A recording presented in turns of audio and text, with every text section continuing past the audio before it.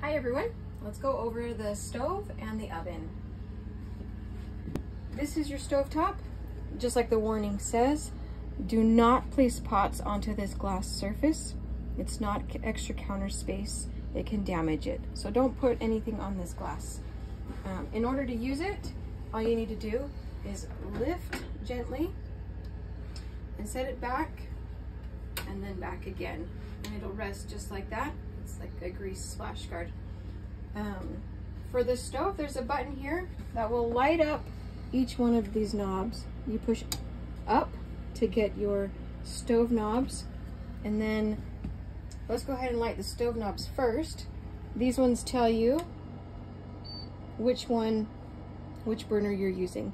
So let's use this middle one right here.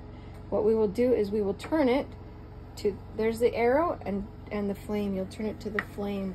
Then you'll come to this knob and you'll go the direction of the arrows and you'll click it on. And then you can adjust the, the temperature with this knob as this, but as the dots get smaller, so do the flames.